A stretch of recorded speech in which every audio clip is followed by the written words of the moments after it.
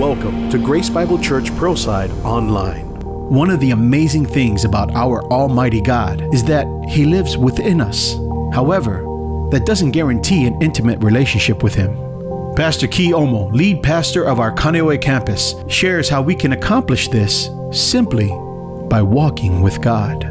I remember when I was 14 years old, where this morning service used to be at Momilani Elementary. I don't know if, how many of you guys remember that, where it was hot and sweaty. You know, that might have just been the Holy Spirit at work, or not, you know. But, but I remember sitting in this area, right around in this area, if you could imagine Momilani. And I remember sitting down, this is a, our youth service. Um, sitting down and then pastor norman is teaching and he's preaching and, and in one of it one moment in his, in his message he points in my area where I'm sitting, and he says, One day you will be doing this. And you can imagine a 14 year old, right, thinking, Talking to me? No, he's talking to you, bro. You know, he's, you know, he's talking to me. I, just, I, I was kind of confused, right? But he, I swear he was pointing at me. But then that was, that was the moment where I, I, really believed that, man, do I have a greater call in my life? You know, I have so much plans in my heart and my mind. You know, I have, I have, I have aspirations. And, but as I started walking with the Lord and as I got saved and, and, and Christ became my Lord and I submitted, you know, everything unto Him, I truly chose to carry my cross and follow Him. I realized all my passions and my desires had to be laid at the foot of the cross. And when that started happening, as I, as I started to truly walk with the Lord, man, God started just reviewing all these things about Him. And I started opening up the Word of God, and I realized, man, the Word of God is not about me, but it's about Christ. And if I get to know Christ, then I get to know me. And if I get to know me, then I get to know Christ's purpose for me. And so I'm up here, and you know, I'm, I'm, I'm now I'm the campus uh, pastor over at uh, uh, Kaneohe. But it, it, in almost 20 years of following, following the Lord, it was a lot of walking with the Lord. And today we're going to talk about walking with the Lord. And maybe some of you, you might be excited about that. Or maybe there might be a few of you are thinking, I've heard this before. You know, I, you know, I don't know. You know, I mean, how much am I really going to know? I want to encourage you, let's humble our hearts together. And even if you're even saved for one day, or even saved for 50 years, there's always something new and something fresh to the Word of God that we all can learn if we'll just humble ourselves. Amen? Can we do that together? It's a simple word. God is simple, but even in the most simple words, it can be life transforming. And so I'm going to go ahead and read. We're going to learn about none other than Enoch, and the Bible is very clear that he walked with the Lord. And I'm going to go ahead and read that first, and then we're going to pray. So we're going to start with uh, Hebrews chapter 11, verse 1. Uh, I'm going to read all the way to verse uh, 7. Okay, so if you got your Bibles, please turn to that. If not, then we have it up on screen.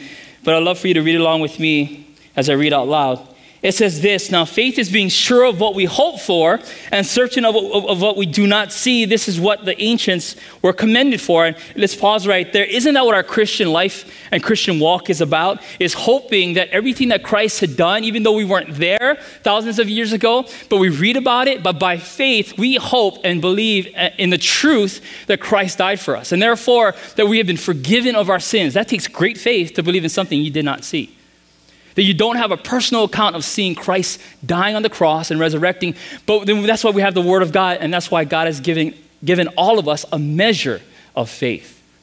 Measure faith in ourselves or measure in faith in the truth, which is Jesus Christ. But that's what a Christian walk is about. It's every day. It's living by faith in this hope and, this, and, the, and the certainty of what we do not see. Verse 3 says, By faith, we understand that the universe was formed at God's command, so that what is seen was not made out of what was visible. Verse 4 By faith, Abel offered God a better sacrifice as Abel's worship than Cain did. But by faith, he was commended as righteous. So, in other words, if, because Abel gave the greatest and the best sacrifice he had, which is a form of worship, you see, we know worship as instruments. We know of worship as singing. We know worship uh, on Sunday mornings, but did you know worship is not about the form or the style? Worship is about your heart. Worship begins at the heart. So, what the Word of God is saying in here, which, by the way, Hebrews chapter 11, if you read through all of that, it's a great devotions. It actually gives you a layout of what spiritual progress is, it looks like. Well, we start with Abel, and he says, "Man, it's worship. It begins with a if your if your if your your heart is authentic to God, then your worship is going to be authentic to Him." Not just in the way you sing and the style. Praise God for all these different styles and forms we have uh, all over the world of types of worship, but it's more than that. It's a lifestyle of how we live our lives. And then it goes into Enoch by faith. There's a pattern here by faith, by faith, by faith. By faith, Enoch was taken from this life so that he did not experience death. He could not be found because God had taken him away. For before he was taken, he was commended as one, what does it say there? He was commended as one who pleased God. And without faith, it's impossible to please God because anyone who comes to him must believe that he exists and that he rewards those who earnestly seek him. In fact, we'll just stop right there. Guess what? If you could just put it all into a few words, what Enoch's testimony was, real simple, is that he pleased God. That was good enough for God. It said he walked with God and he pleased God. Not how many small groups that I, had, not that I read the Bible 10 times. That wasn't on his tombstone, if there was one. That wasn't what it was written uh, in the Bible. Real simple is that he walked with God and he pleased God. That was his testimony. I mean, could you imagine uh, meeting Enoch and then, you know how we're always this, the, the Christians like, hey, what is your testimony? You know, if you ever, you probably said that and asked someone, what's your testimony? And then we have this testimony God did this, God did this, God did this. Enoch's testimony is I walked with God and I pleased the Lord. Nice meeting you. And he walked away. You know, that's his testimony, is that he walked with God and he pleased God. And we're going to talk about walking with God. But if you turn to Genesis chapter 5, verse 21, we're going to read this, it's in your notes. There aren't much testimonies or much accounts of Enoch. I mean, his name is scattered all over the place throughout the word, both in the, in the Old and the New Testament.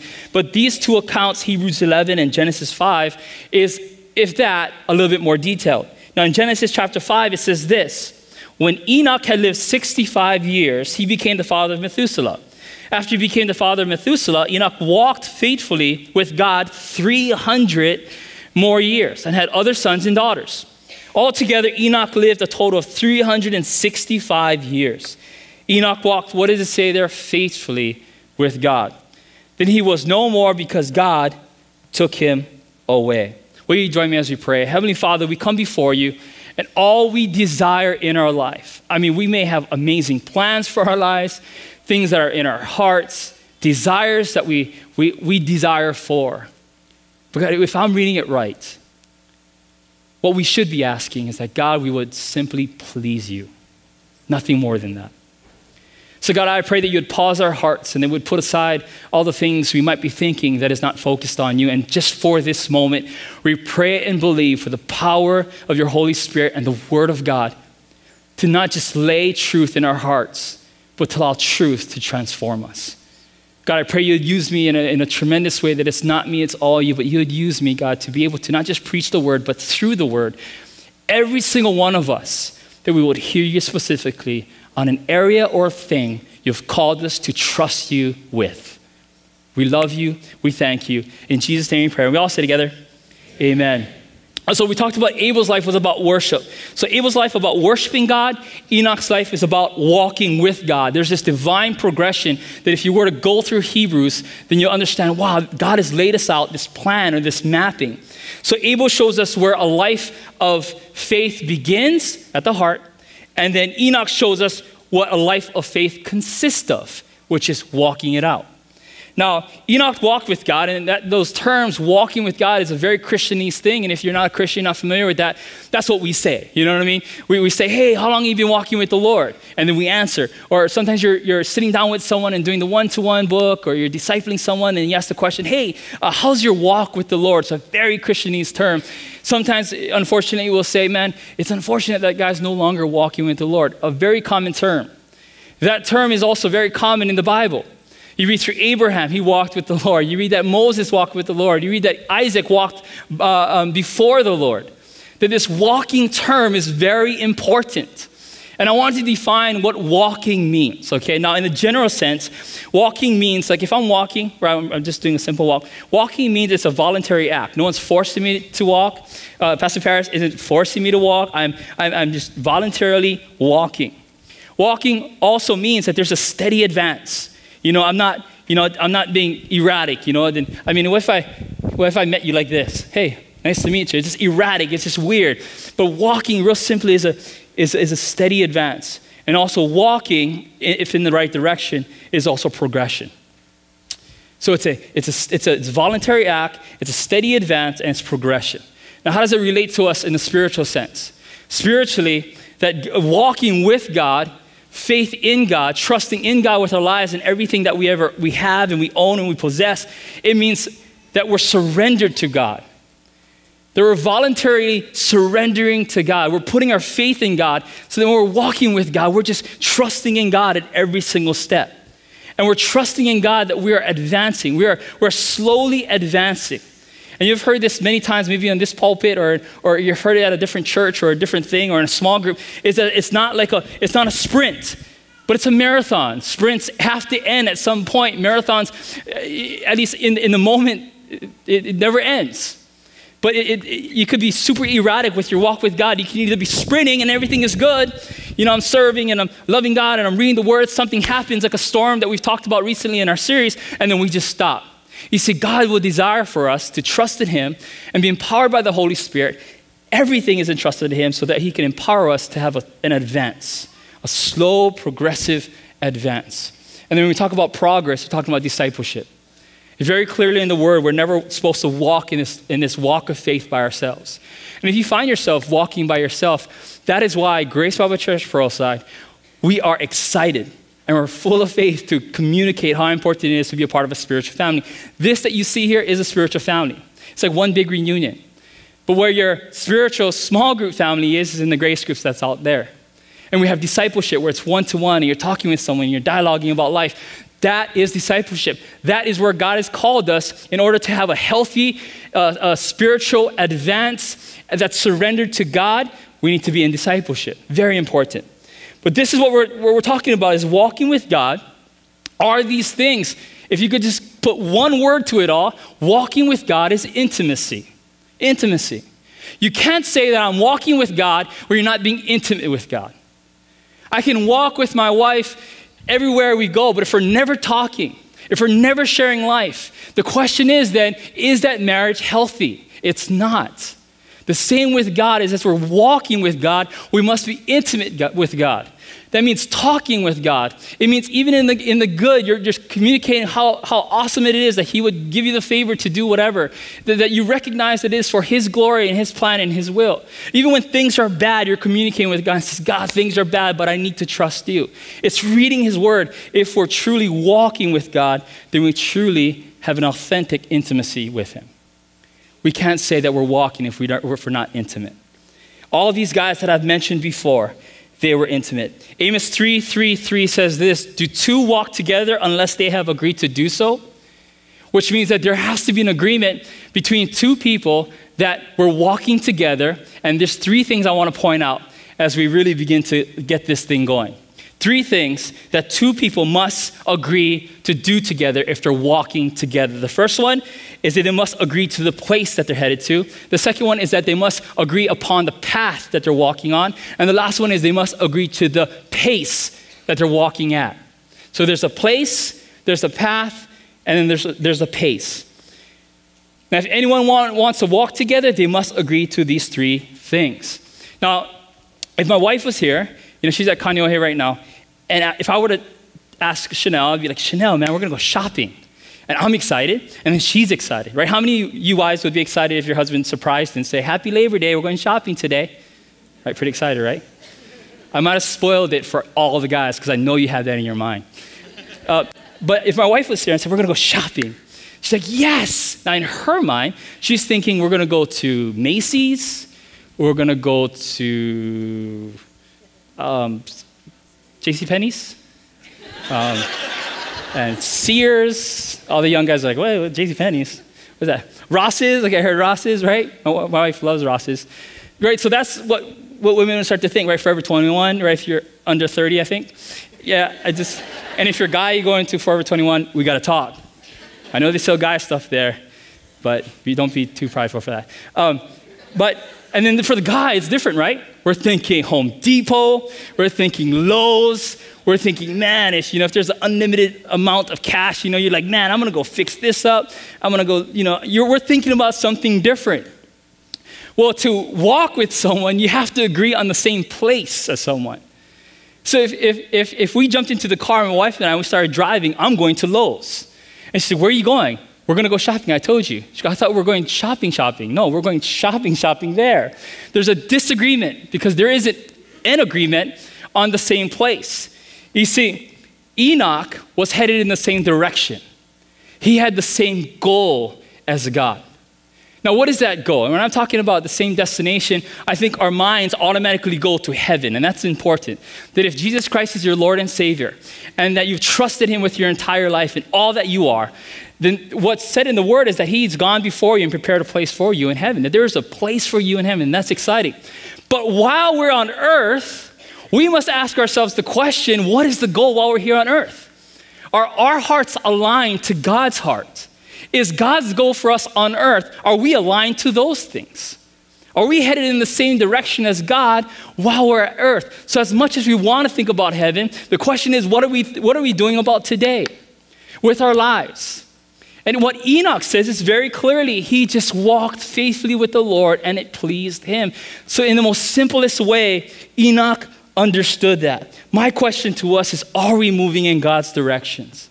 Are, have we agreed to the final destination, not in the sense of just heaven, but even while we're here on earth? This might help us out. It comes out of 1 Corinthians chapter 10, verse 31. It says, So whether you eat or drink or whatever you do, do it all for the glory of God. Do it all for the glory of God. Not just what you eat and drink, but every decision we make is for the glory of God. So, in other words, if I were to ask all of us the question, what is most important to God? In our Christian walk, what is most important to God? We may have different answers, very good, very biblical, but what's most important, if I'm reading this verse, is that God gets the glory. Sure, you can lead a grace group, and that's amazing, but who's getting the glory? Is it God, or is it because we sound good and we're seeing success in people's lives, and we're forgetting that the glory goes to God and not us? If we're reaching out to people, is our goal just to get people to church because we're, I got my one, versus I'm bringing people to church because this is what God desires for me to do, is love them into the house. Like everything we do, how about in our marriages? Are we giving glory to God? How about if you're not married yet, you're in a relationship, boyfriend or girlfriend? Is that relationship giving glory to God? How about in our homes with our kids?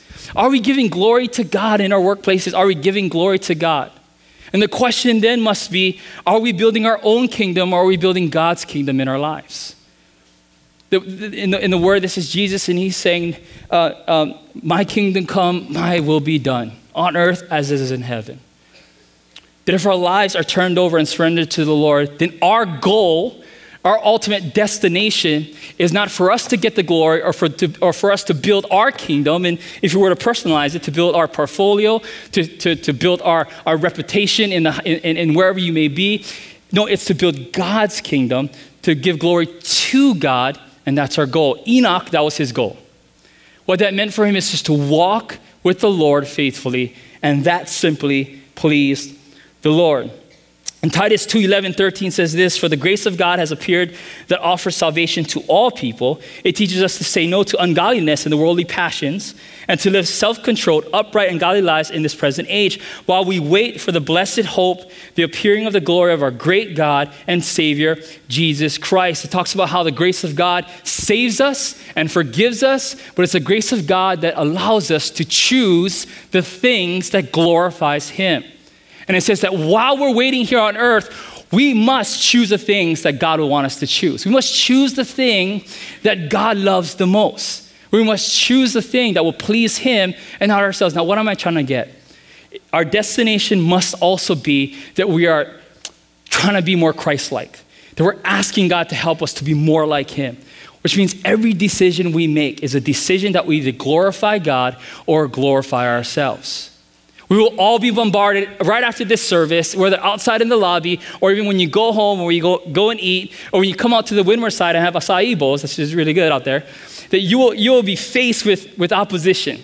You'll be faced with temptation. You'll be faced with making some decisions. Whether it be with your spouse, whether it be with your girlfriend, boyfriend, your job, your friends, maybe even personally, internally with yourself. Will that decision be glorifying to God? Will that decision be aligned with the Word of God? Because if it is not, then the question is are you glorifying yourself or are you glorifying God? And if we are, then guess what? We are moving in the right direction going at the right place with God. Colossians 3 110 says this Since then you have been raised with Christ, set your hearts on things above, which means things on Him. Now, if we're walking to the same place as God, we must walk at the same, upon the same path as Him.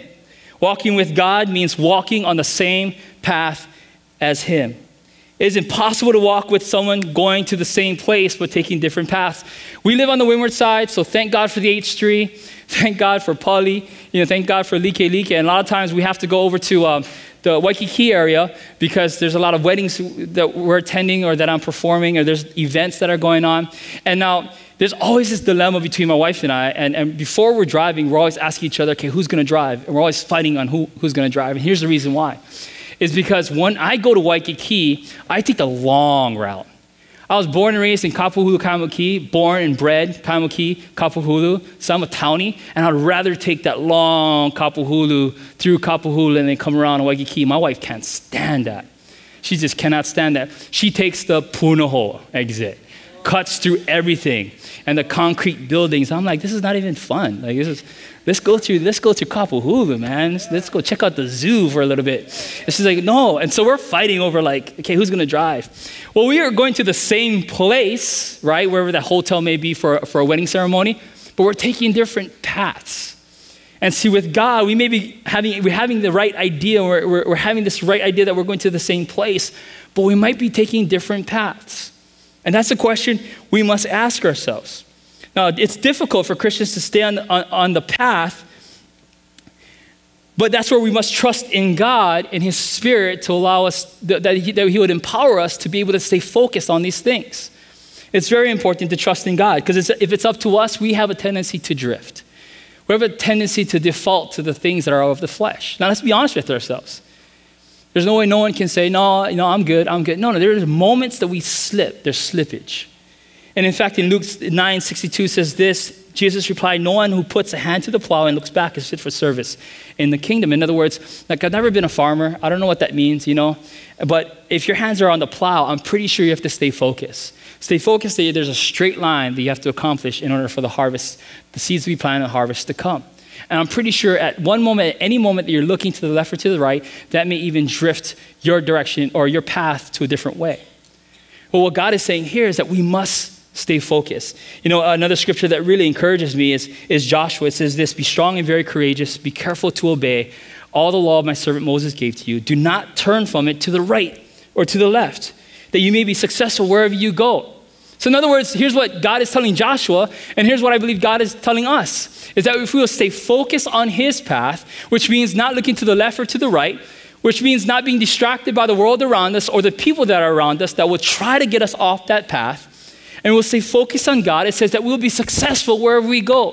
Now, let me pause right there. I don't want us to think that the success that we're going to be able to embrace is a success that we think. In fact, the success that we are going to receive is a success that's defined by God. We can easily think that, man, if I follow God and I seek God, that means He's gonna make me prominent in my business. He's gonna multiply this. He's gonna give me this. And then the question then is who's getting the glory? Has God become a vending machine to put in our contribution only to receive what we want? You know, like a vending machine, we can choose, right? We can choose in Christianity, we must be very careful that we're not trying to choose our blessing. But in fact, we're just trusting God, staying focused on, on His plans, seeking Him, and whatever blessing and whatever successes that He defines in our lives, we must be excited for whatever He has in store for us. Because what is it about? Jesus or about us? It's about Jesus. It's about Jesus. So here's Joshua, and here's the encouragement to us. And Enoch I mean, think about Enoch and his story came before the flood. Now, what is the reason why the flood came? Was to wipe out the earth because there's too much sin on the earth. Now, Enoch came before the flood, which means that there was a lot of things going on that was sinful, a lot of temptations, a lot of things that wasn't pleasing the Lord. So Enoch had to walk with the Lord in a time where there was a lot of temptation a lot of sin, a lot of things going on. But Enoch was content and was convicted and convinced in his heart that I will please the Lord and I will walk with him. Enoch was walking with God when everyone else was walking away from God. And a life of faith is walking with God when no one else is. I know sometimes when you're walking with God, you may seem like you're all by yourself, whether it be in your own home, or whether it be on your campus, whether it be in your workplace. And it seems sometimes very lonely. And I understand that I've been there before. But keep in mind that whom we're pleasing will help you to stay focused on the path that He's called you to. That's God. The same path. They're walking to the same place with the same path. Here are two real quick things that will help us to stay on the same path. Number one, and these will be amazingly transforming to you if you would choose to memorize these two things and apply them to your life because it's not about theological things, it's about being practical and applying it to your life. Number one is a written word, is the Bible. I know that amazes you that we're in church and I'm saying the one thing that will help you focus on the path is the Bible. But guess what? It's the Bible. I think too few times as Christians, and I speak for myself too, we turn to all these other things when the very thing that's most important in our life is right in front of us. It's the Word of God.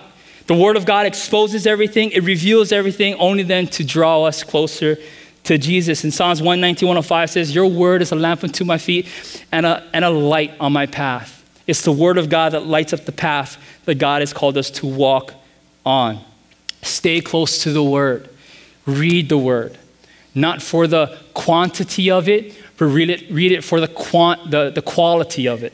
The second thing is it's His voice. It's the one thing that will help us to stay on the path uh, that God has called us on is the Word of God. But the second thing is His voice. How do we hear His voice? By staying intimate.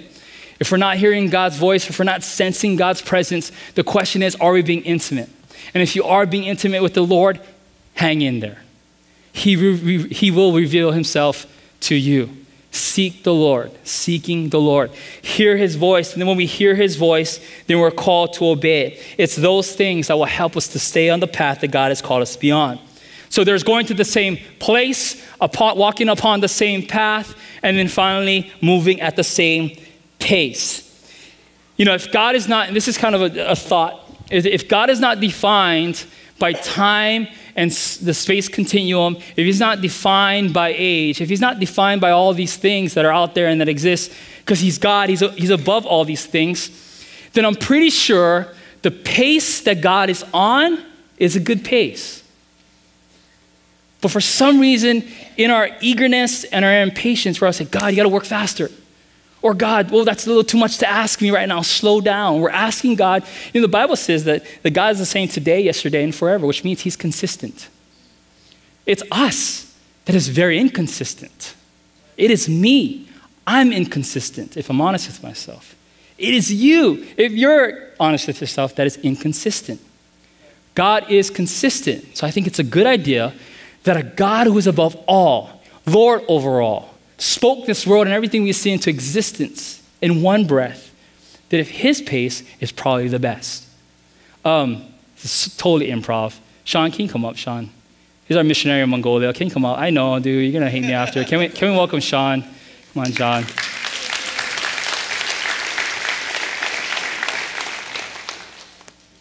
Sean, I'm gonna play, play God.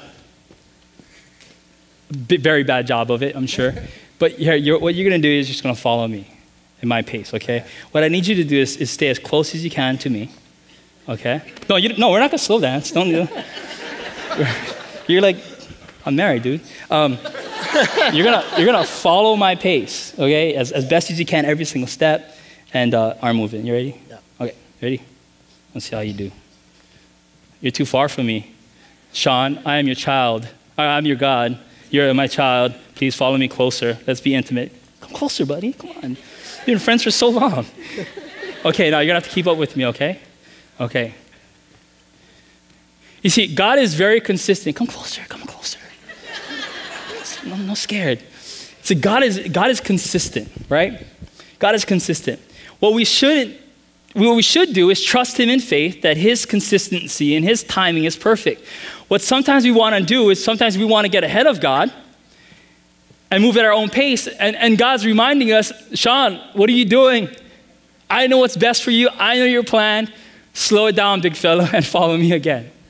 Sometimes we want God to slow down, so we end up slowing down, and God's moving at this consistent, all knowing, and all powerful pace, and, and we want God to slow down.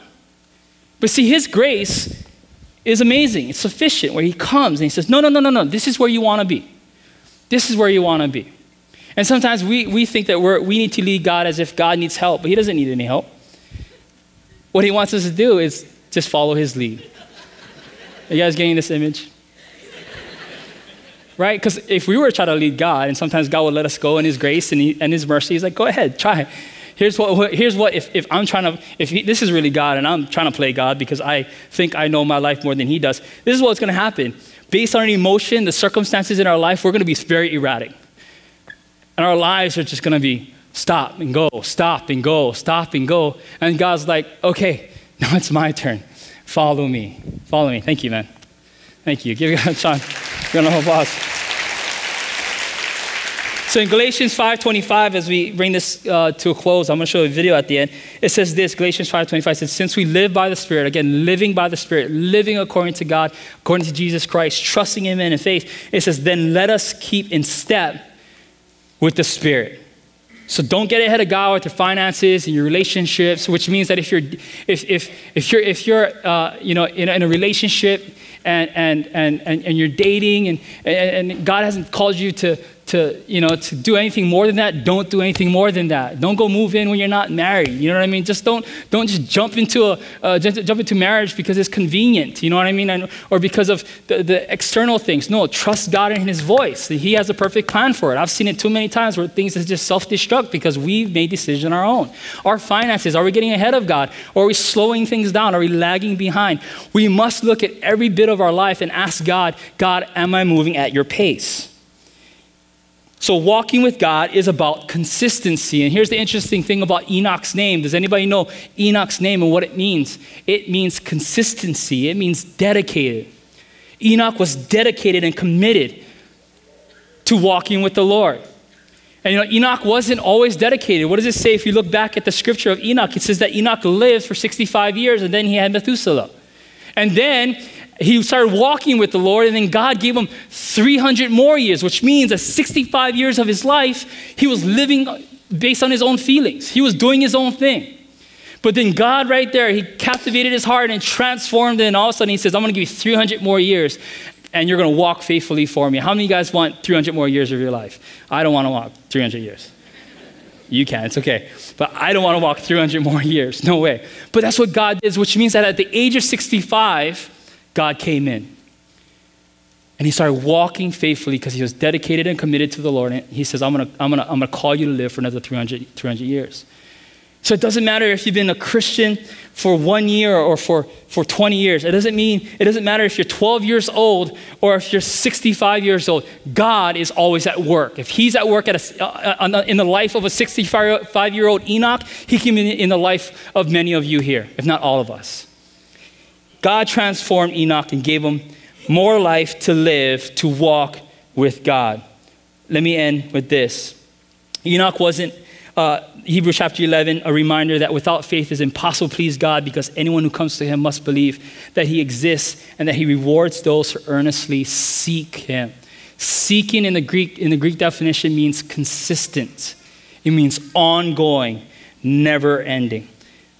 This uh, video illustration, real quickly, you might be familiar with it. It's been a while since we showed it.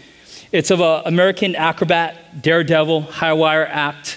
Uh, his name is Nick Wallenda. He's described as the king of the, of the wire. He's known to perform many high wire performances. I mean, he has many Guinness World Records for various acrobatic feats, including this one that I'm about to show you. In fact, that it's in now in the Guinness World Records today, and it stands today. The more amazing thing is that he is a man of God and he loves Jesus very much. Why don't you take a look at this, and this is how we're going to end.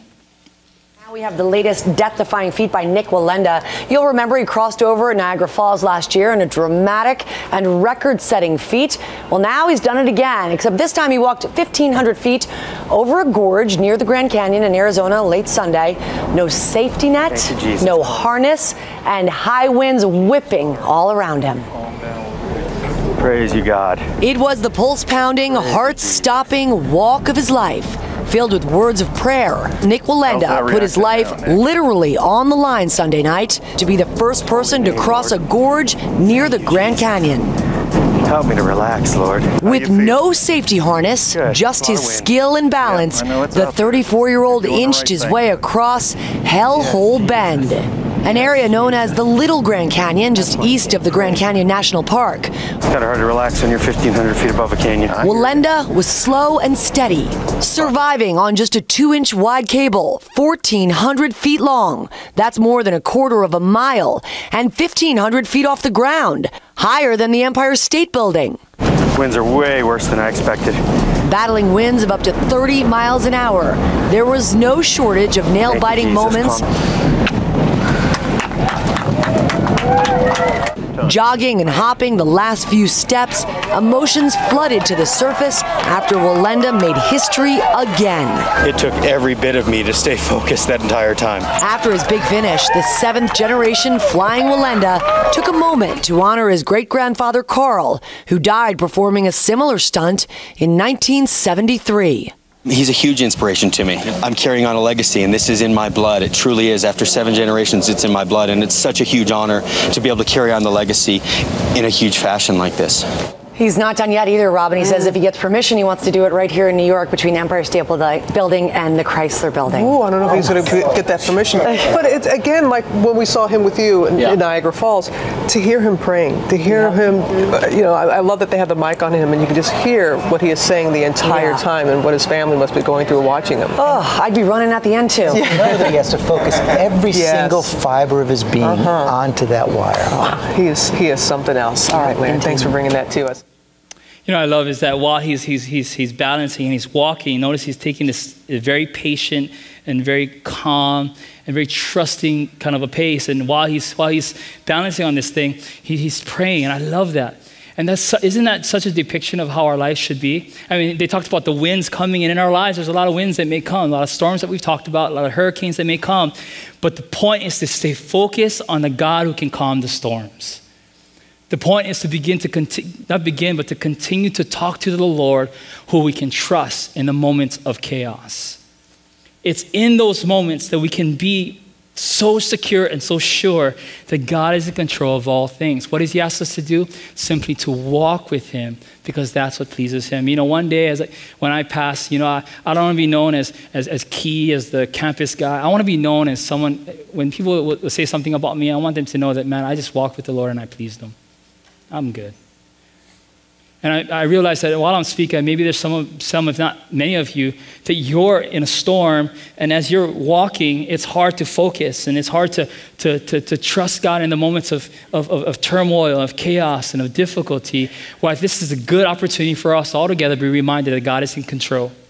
And that all He calls us to do is put our faith and trust in Him and watch Him secure us in the moments of storms and watch us deliver us in those moments as well. Can I just pray for us? And then we're going to worship for just a bit and see what God does. Can we, let's pray. Heavenly Father, we thank you so much, God, for, for being so good and so faithful that you have been nothing, nothing less, but always delivering, and always uh, victorious in our moments, God, where it may seem hopeless. God, I, I just pray, God, that wherever we may be in our walk with you, God, I pray that this is a great moment to pause, to refocus and recalibrate on you, a God who is good, a God who is always at work, a God who knows better than what, what, what, me, what we may think or imagine, a God who has a great plan and a purpose for our lives, and that your will truly will be done, and we will sit back and, and, look, and look at that and say, God, you have been faithful. So, God, as we worship, I, we just ask that the Spirit of God, as we worship and we sing and declare these words, that it would begin to soften the hardened areas of our life and it would begin to create a soil that's worthy of planting plants and seeds of great faith, faith in you. We thank you and we love you. In Jesus' name we pray. And we all say together, Amen.